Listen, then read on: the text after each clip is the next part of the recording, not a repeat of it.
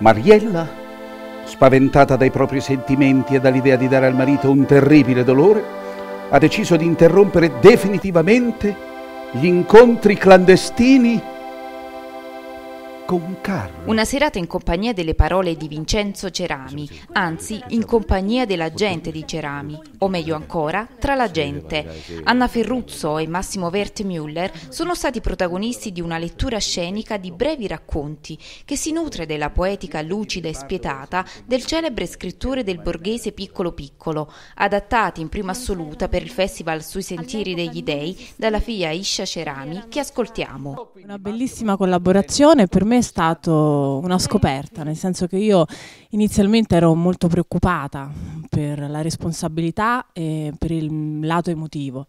Invece poi devo dire che con Norma mi sono divertita, mi sono trovata splendidamente. È uno spettacolo che è venuto così, semplicemente. La regia è di Norma Martelli, le musiche di Nicola Piovani, eseguite dal vivo da Edoarda Iscaro.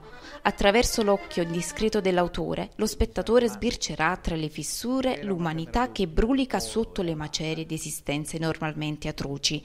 Ascoltiamo la regista Norma Martelli. È una raccolta di racconti, brevi racconti, dove Vincenzo coglie l'attimo in cui ognuno di noi si trova nella vita, un attimo in cui può, la vita può andare o da una parte e dall'altra. Ecco, lui ci racconta questo attimo.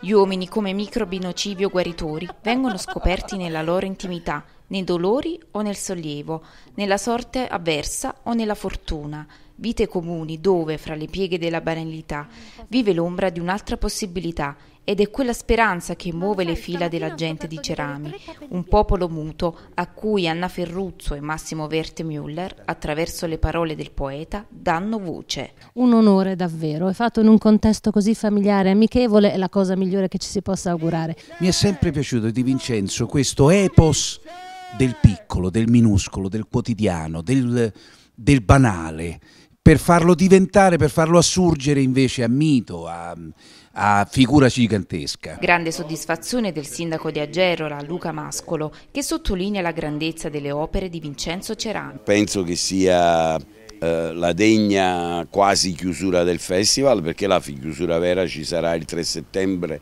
con il premio alla carriera Gino Paoli accompagnato da Danilo Rea e abbiamo provato a dimostrare che in un piccolo paese si può fare cultura, la si può fare bene e si può mischiare cultura con divertimento nel periodo estivo.